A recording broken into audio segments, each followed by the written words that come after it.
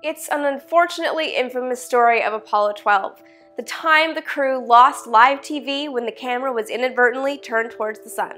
I'm Amy Shira Teitel, and today on Vintage Space, we're talking about the sun-fried camera and Bean's Law.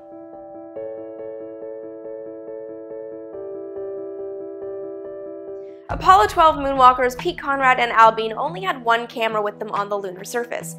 It was stored in one of the equipment bays on the lunar module's descent stage, and it was in a position where it could capture both astronauts' descent on the surface. As per the flight plan, it fell to Al Bean to then take the camera off of its stowed position and deploy it on the moon so it could see the surface activities, broadcasting it to Mission Control and the world. At some point during this maneuver, the picture in Mission Control changed. The lunar landscape was replaced by a black screen with a bright shape in the top fifth of the frame. Bean's efforts to fix the picture by either hitting the camera or turning it did nothing. He called down to Houston, let me move it around so the back is to the sun, and maybe that'll help. Maybe that's the way we're gonna have to do it.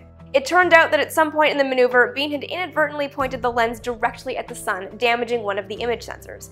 Had Bean known or been able to cut a wire and disable the automatic light level control circuit, we would have had footage from the moon on Apollo 12, but this solution only came up during post-flight testing. Bean, unsurprisingly, is still asked about this incident, and he's come up with some pretty clever responses. My personal favorite was when he told me that NASA sent him up there with a solar telescope, so he did what he was supposed to do. He pointed at the sun. When I met Bean last summer at Space Fest in Tucson, the camera incident came up again. But this time, we didn't talk about what went wrong. We talked about the power of images to share space exploration with the world. It's no surprise that spaceflight and space exploration appeals to a sort of limited audience. Events like Philae's recent landing on a comet capture the world for a brief moment, but the interest doesn't necessarily last.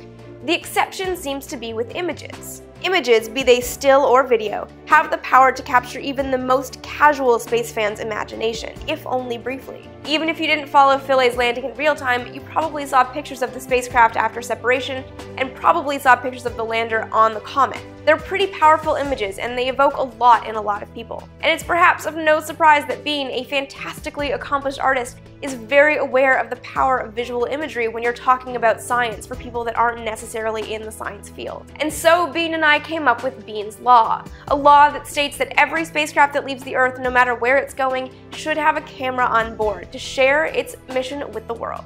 What are some of your favorite images of space exploration and why?